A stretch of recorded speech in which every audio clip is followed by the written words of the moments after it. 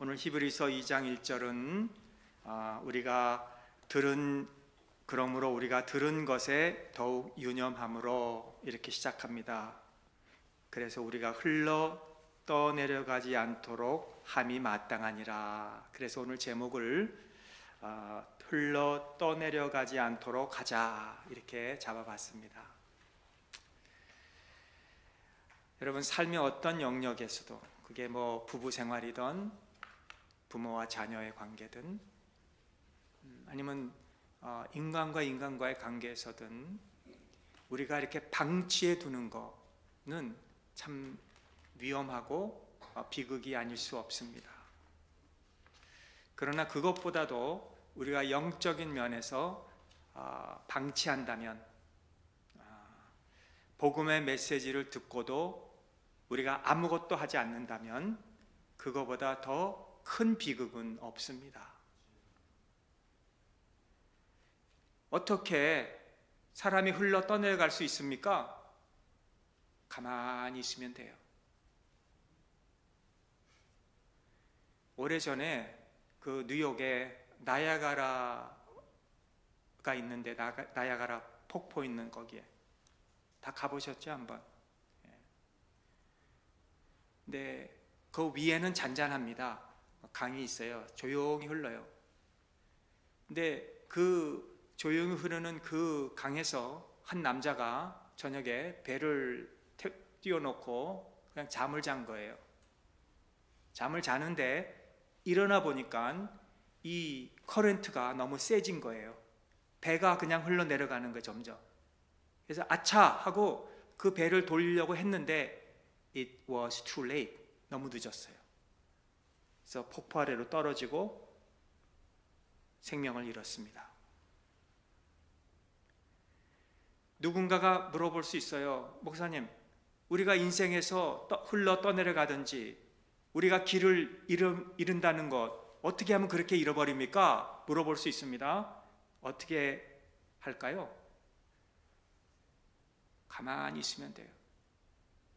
우리가 어떻게 하면 잃어버리지 않습니까? 우리에게 답이 있습니다. 구원을 받으려면 어떻게 해야 됩니까? 이런 질문에 사도행전 16장 32절 말씀에 주 예수를 믿으라 그리하면 너와 내 집이 구원을 얻으리라. 거기에 답이 있습니다.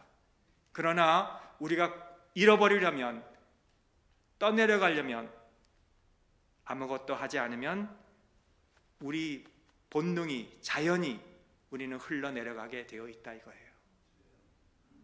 자연 상태가 저와 여러분들이 가만히 있으면 그냥 떠내려가게 되어 있다는 거예요. 복음의 메시지를 듣지 않은 그것에 대해서 어, 복음의 메시지를 듣는 것에 대해서 우리가 아무것도 하지 않을 때 이거보다 더 큰 비극이 없습니다. 제가 이런 얘기를 많이 들어요. 목사님, 제가 언젠가는 아, 예수님을 믿고 또 신앙생활도 잘 하고 아, 그렇게 하려고 합니다. 근데 지금은 아, 아닙니다. 이 사람은 지금 흘러내려가고 있는 것도 모르고 있는 거예요. 언젠가는 이 조류가 흘러가서 이제는 내 스스로 통제할 수 없어서 그거로서 그냥 따라서 흘러가다가 아차 하고 발견할 때 it is too late. 그게 히브리 저자의 말씀이에요. 히브리 저자가 이 오늘 이 히브리서에서 주는 주 주요 메시지가 지금이 은혜의 날이요. 지금이 구원의 날이다. 그것을 지금 전하고 있다 이거예요. 켄터키에 한번 가보시면 중부 지역에 동굴을 탐험하던 자들이 오래전에 많이 있었습니다. 거기에 특별히 윌리엄 플로이드 칼린스라고 하는 어, 이 탐험가가 1887년대에 태어나서 거기에 어, 이 발굴을 이렇게 하는 일들을 했는데 지금 어, 그 메모트 케이브 내셔널 파크라고 그 국립공원에 그 윌리엄 컬린스의 기념비가 이렇게 세워져 있어요. 1920년도에는 음, 이 초반에 동굴 전쟁이 일어났습니다. 거기에서 동굴들이 어, 아, 기업하느라고 그걸 가지고 어떻게 기업을 하느냐? 그게 지금 한 동굴이 그 한 125마일로 거기가 아래 엉켜 있대요. 이렇게 펴보면 그렇게 동굴이 아래 많은 거예요. 그러니까 사람들로 하여금 그곳에 와가지고 보여주면서 뭐, 뭐 호텔도 장사도 하고 뭐 그로세리 장사도 하고 아이스크림 뭐, 뭐 그런 거 팝시클 같은 거 팔면서 장사를 하느라고 동굴 가지고 싸웠대요. 근데 그때에 윌리엄 콜린스가 그 좁은 입구로 들어갔습니다. 그게 크리스탈 동굴 입구라고 부르기도 하고 모래 입, 동굴의 입, 이라고도 입구라고도 부르기도 그곳에서 들어가다가 55피트나 그 사람이 떨어진 거예요. 그래가지고 아, 그때 당시에 그 떨어진 사건을 이제 구조하는 그 어, 작업이 처음으로 생방송으로 라디오에서 생방송으로 가정가정마다 그게 듣기 들리게 된 거예요. 그러니까 그때는 라디오죠, 라디오로. 아, 지금 누가 이렇게 뭐 어떻게 했습니다 하면서 그게 자꾸 뭐 이렇게 파이프를 내려줘서 그분에게 물을 줘가지고 물을 마시려고 하게 하고 그랬다는 거예요. 그래서 4일 동안 어, 움직이지 못하고 물도 못 먹고 음식도 못 먹고 있었을 때에 그 조그만 구멍으로 어떻게 물을 내려서 마시다가 갑자기 바위 같은 게 그 위에 떨어져 가지고 다리에 떨어져 가지고 꼼짝 못해서 그 후로 어, 구조 아, 찾아냈던 그 3일 전에 아, 이 하이퍼더미아 또는 헝거 그리고 thirst로 어, 생명을 잃게 되었다는 거예요. 근데 그의 기념비가 거기 그 파크에 있습니다. 거기에 이렇게 역, 역사상 가장 위대한 동굴 탐험가 이렇게 써 있어요. 그가 생방송에 나오기 전까지는 이름도 없던 사람이 생방송으로 그분을 구조하려고 막 방송하고 선전하고 뭐 이렇게 매일마다 그 라디오에 나오면 그 사람이 지금 어떻게 됐는지 궁금해 가지고 다 그걸 들어 가지고 이 사람이 유명해진 거예요. 네. 방송을 해 가지고 무명의 사람이었으나 생방송으로 구조를 시도한 것 때문에 유명하게 된 그 이야기 탈출할 수 없었던 이야기입니다. 나올 수 없었던 이야기예요. 자, 우리가 이 구원을 들었습니다. 구원을 받았습니다. 저와 여러분들이 받은 구원은 이거는 보통이 아닙니다. 피할 수 없는 겁니다. 히브리서 2장에서 전하는 그 주제가 바로 그런 겁니다. 이 구원을 받은 우리가 복음을 들은 우리가 흘러 떠내려가지 않도록 유념하라. 힘을 다해라. 그게 마땅하다. 대가 떠내려가지 못하도록 하라. 그런 거예요. 요한복음 6장 66절 보니까 그때의 그의 제자 중에서 예수님의 제자 중에서 많은 사람이 떠나가고 다시 그와 함께 다니지 아니하더라. 이 전 사건이 뭐예요? 예수님이 5천 명을 먹이신 사건. 그 기적을 본 사람들이에요. 그런데 아, 조금 후에 그 기적이 안 보이니까 이제는 예수님이 그런 기적을 행하지 않으시니까 많은 사람들이 떠나가고 다시 그와 함께 다니지 아니하더라 흘러 내려갔더라 떠 내려갔더라 그러므로 히브리 저자는 인내하라 경고합니다 아무것도 안 하고 있지 말고 더욱 유념하고 흘러 떠내려가지 않도록 하고 살아계신 하나님으로부터 멀리 가지 않고 유념하라는 거예요. 미국에서 매년마다 이 수영하는 사람들 중에서 한 100명 이상이 좀 죽는다고 하는데요. 수영을 하다가 아, 죽는 거는 조류에 의해서 많이 생명을 잃어버린대요.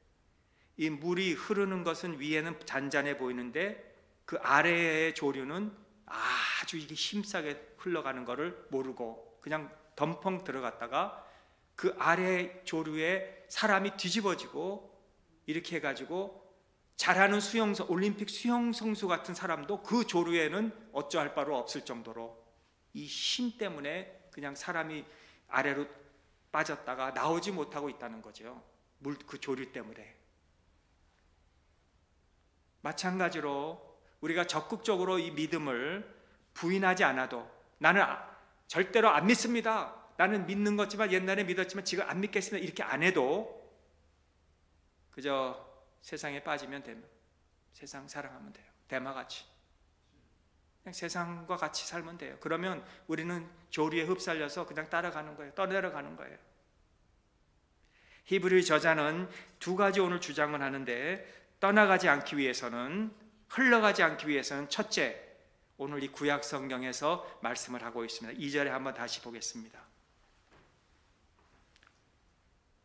천사들을 통하여 하신 말씀이 경고하게 되어 모든 범죄함과 순종하지 아니함이 공정한 보응을 받았거든. 자, 이 말씀을 보면, 보시면 지금 2절에서 구약에 보면 수많은 사람들이 흘러 떠내려갔다는 거예요. 그들이 반항을 하고 어, 하나님을 배교했습니다. 배교했어요. 민수기 16장 같은 데 보면은 고라가 있었고요. 다단이 다단이 있었고요. 아비랑 같은 사람이 있었어요. 모세를 대항했습니다. 그래서 어, 모세를 대항했을 때 하나님이 땅을 벌려서 그들을 삼켰다 그런 얘기를 우리가 들으셨죠.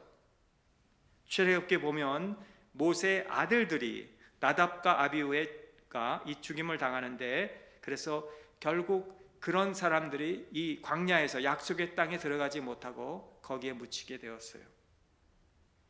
자, 이거는 오늘 히브리서에서 지금 그런 얘기들을 하고 있는 겁니다.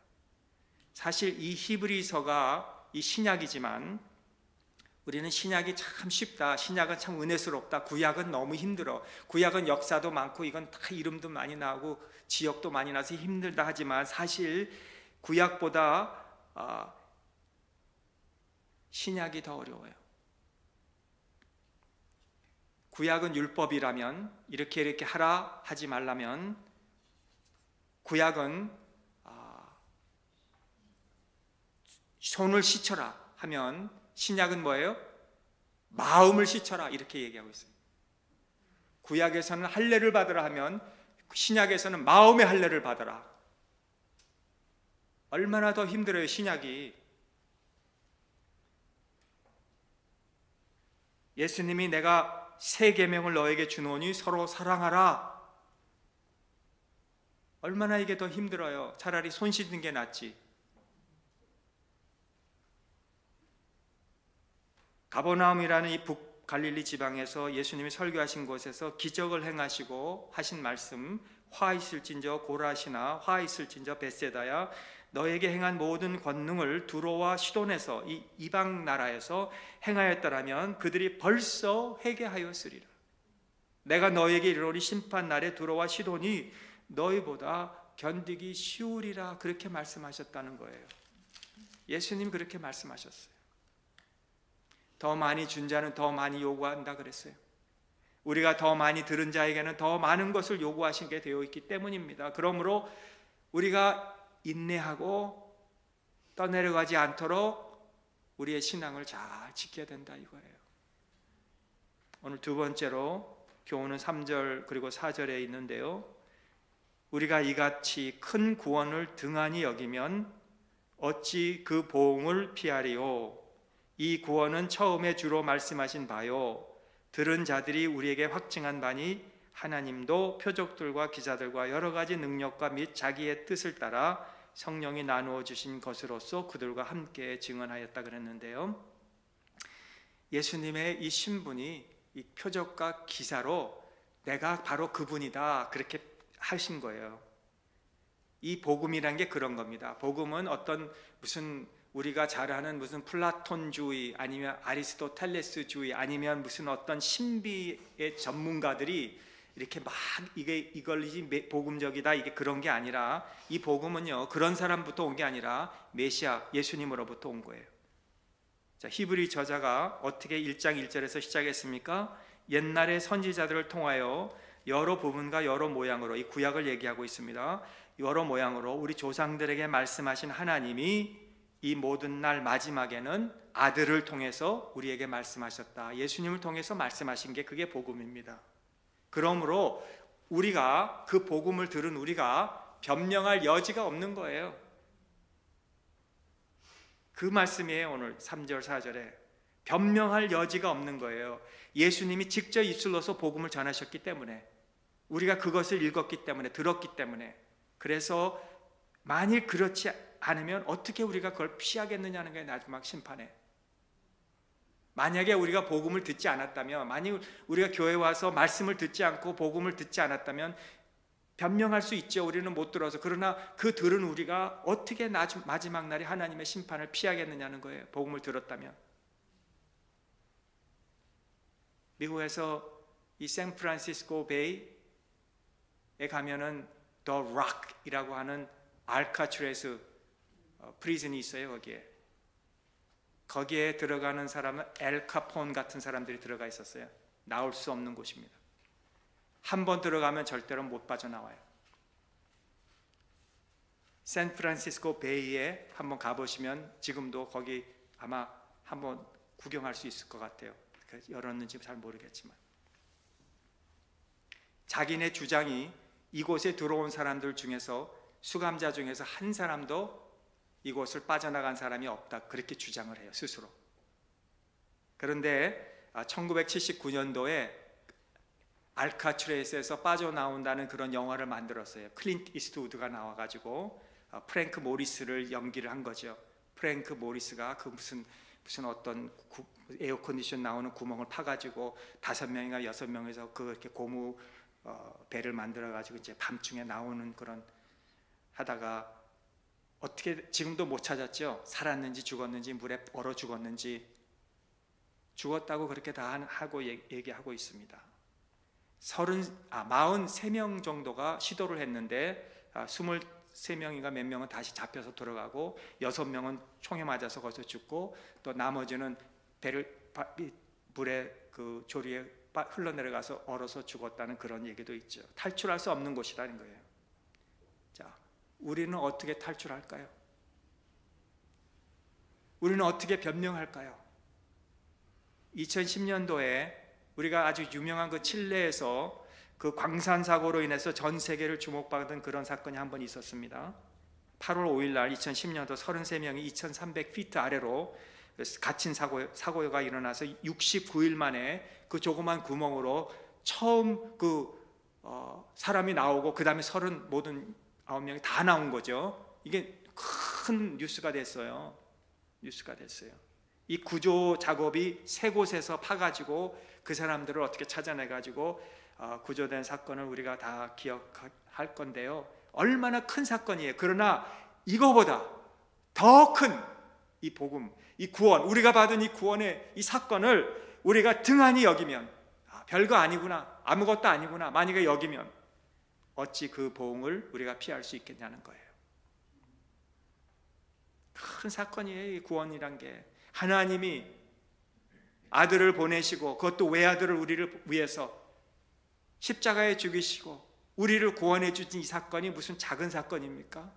이 큰 사건을 갖다가 우리가 그냥 보응하고 비방 이 그냥 비난 그냥 아, 묻어두고 방지하고 방치하고 하면 어떻게 되겠습니까? 하나님이 우리를 성령을 통해서 새로운 존재로 만들어 주셨다고 new creation 그리고 하나님의 inheritance 기업으로 우리 얻게 하시고 그러니 떠나가지 말고 흘러내려가지 말고 세상을 사랑하지 말고 가만히 있지 말고 인내로서 우리 앞에 있는 경주를 달리라고 그렇게 말씀하고 있다는 거예요. 여러분, 우리를 의롭게 해주신 분은 하나님이시잖아요. 내가 의로워서 의롭게 된 거 아닙니다. 하나님이 우리를 의롭게 여겨 주셔서 우리 믿음을 보시고 우리를 의롭게 해 주셨기 때문에 우리가 의로워진 거지만 성화는 어, 성화하는 단계는 거룩해져가는 단계는 우리가 하는 거예요. 영화로운 그 모습이 될 날, 날까지 우리가 오늘도 성화를 위해서 가야 되는 거 인내하면서 그저 가만히 있는 게 아닙니다. 빌리보서 2장 12절에 보면 그러므로 나의 사랑하는 자들아 너희가 나 있을 때뿐 아니라 더욱 지금 나 없을 때에도 항상 복종하여 두렵고 떨림으로 너의 구원을 이루라 너희 안에서 행하시는 이는 하나님이시니 자기의 기쁘신 뜻을 위하여 너희에게 소원을 두고 행하신다 그렇게 말씀했습니다. 우리가 날마다 두렵고 떨림으로 우리의 구원을 이루어 가라는 그 말씀이 하나님이 우리를 의롭게 해서 구원해 주셨지만 우리가 인내하면서 이 경주를 가야 된다 이 말씀에 가만히 있지 마시고 아멘. 오늘 그래서 1년 동안 2023년도도 여러분들이 이렇게 수요일 날도 나오시고 예배 드리시고 또 때로는 추워도 새벽에도 나와서 기도도 하시고 주일 날도 빠지지 않고 나오시고 왜 우리가 이렇게 하는가? 우리가 이 인내로서 이 경주를 우리가 지금 달려가고 있다 이거예요. 우리에게는 싸워야 할 전쟁이 있습니다. 근신하라 깨어라 너희 대적 마귀가 우는 사자같이 두루다니며 삼킬 자를 찾는다 그랬습니다. 그런즉 너희는 하나님께 복종하라 마귀를 대적하라 그리하면 너희를 피하리라 그렇게 말씀했습니다. 피해야 돼요. 우리가 마귀를 피하면 우리를 마귀가 우리를 피하는 거예요. 우리가 육신대로 살면 반드시 죽을 것이로되 영으로서 몸의 행실을 죽이면 살리라 로마서 8장 13절. 그러므로 경고하는 거예요. 히브리 저자가 여러 경고 중에 우리에게 주의를 하라고요. 우리가 부정하지 않아도 하나님의 말씀을 우리가 부정하지 않았다고 해도 그냥 가만히 떠내려가는 거예요. 이제는 뭐 성경도 읽지 않고요. 옛날에는 그래도 성경을 좀 읽으려고 애썼는데 이제는 성경도 읽지 않고요. 옛날에는 그래도 꾸준히 기도를 했는데 이제는 무슨 큰 일 외에는 기도하지 않고요. 기쁨도 이제는 별로 기쁘지도 않고요. 교회도 이제는 부활절 무슨 감사절 성탄절 외에는 교회도 나오지도 않고요. 세상을 사랑하고요. 우상을 사랑하고요. 하나님을 소홀히 여기고요. 다양한 이 세상 패턴을 따라 살고요. 그런 사람들과 가깝게 지내고요. 그런 사람들과 어딜 가고요. 어느 날 언젠가 눈을 떠서 보니까 it is too late. 우리는 벌써 이 조류에 흘러내려가서 더 이상 우리를 구원할 수 없는 그때가 온다 이겁니다. 가만히 있으면. 방치하지 마시라는 거예요, 지금. 때가 늦기 전에. 싸우라는 거에 인내하면서 perseverance of saints 그게 뭐예요?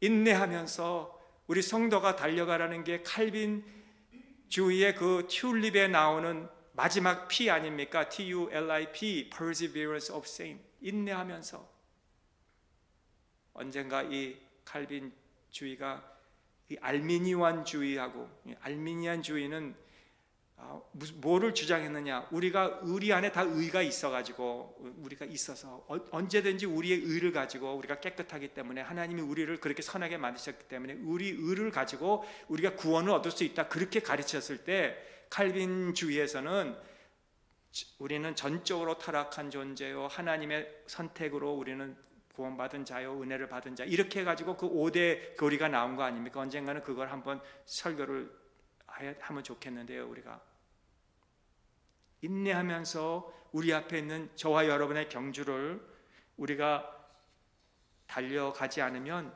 언젠가는 우리가 육지가 안 보이고 우리 주변에는 물로 가득 차 있고요. 그 물의 흐름 때문에 우리는 더 이상 어떻게 주체할 수 없다 이겁니다.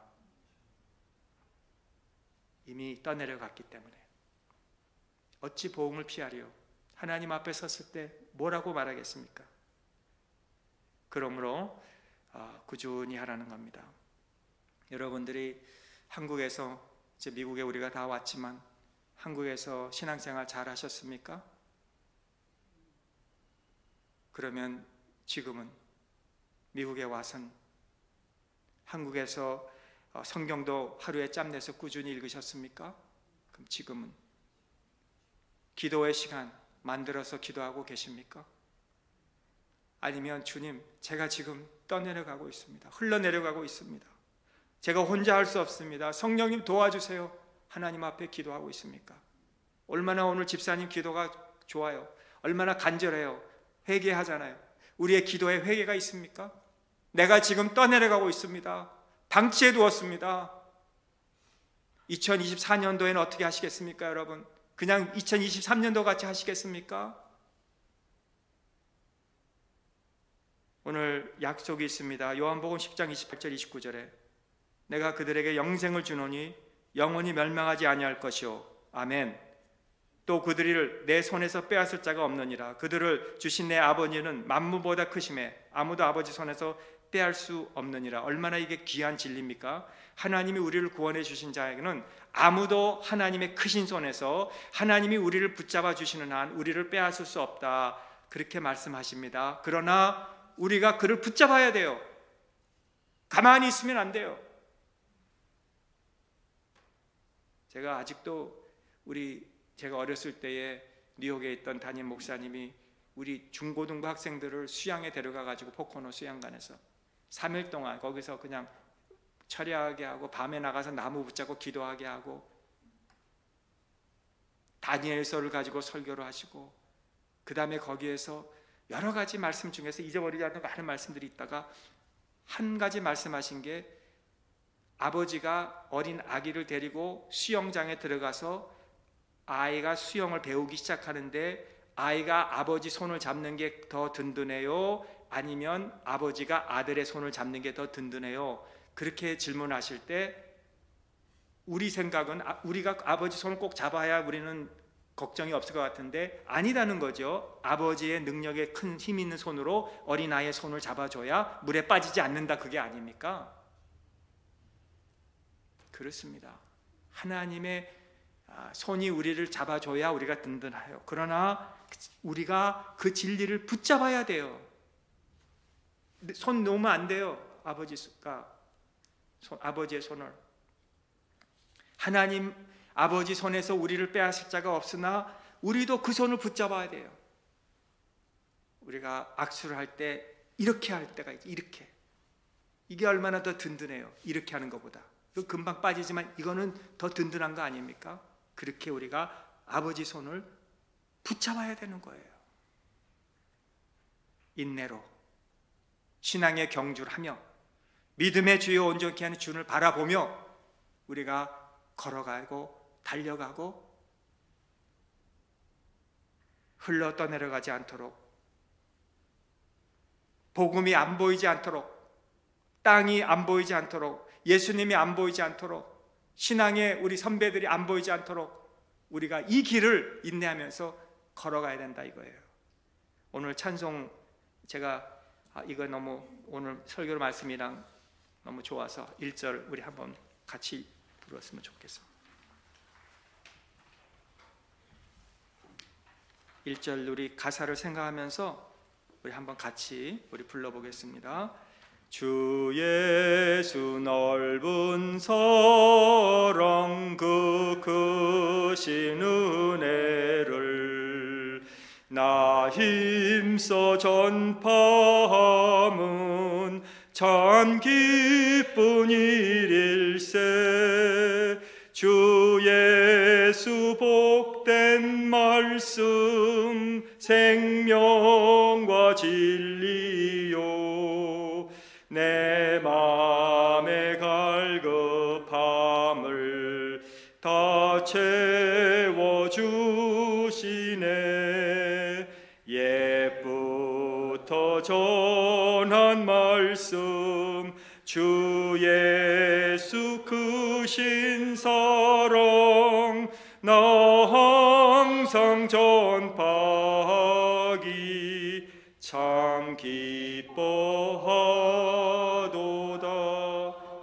찬송가는 행기가 기록 쓴 건데요 작사 작곡한 것 같은데 행기라는 분이 이 찬송가를 만들면서 누구에게 이 가사를 했을까요? 자기에게 한 거예요. 나 정말 이 복된 말씀 사랑합니다. 옛부터 전한 말씀 나 사랑합니다. 내가 이 사랑의 말씀 복된 말씀을 먼저 나에게 전하게 해주세요. 먼저 나에게 오늘 우리가 이 말씀을 나에게 전해야 돼. 다른 사람에 가서 전하기 전에 나에게 먼저 전해. 오늘 이런 우리가 될 수 있기를 간절히 바랍니다. 기도하겠습니다. 주 예수 넓은 사랑 그 크신 은혜를 내가 힘써 전파하기 전에 오늘 그 복음의 말씀이 나에게 전해지고 있는지 얼마나 이 큰 사건이 나를 인내하게 하는지 내가 흘러가지 않게 하는지 내가 주 예수를 바라볼 수 있게 하는지 오늘 이 찬송가 가사처럼 그 여- 넓은 사랑 나에게 전해도록 나에게 파고들게 하도록 오늘 주님이 우리에게 그런 은혜를 허락해 주시옵소서. 그리고 그 복음을 그때 그 후에 남에게도 우리가 전하는 하나님의 증인이 되게 하여 주시옵소서. 예수님의 이름으로 감사하며 기도하옵나이다. 아멘.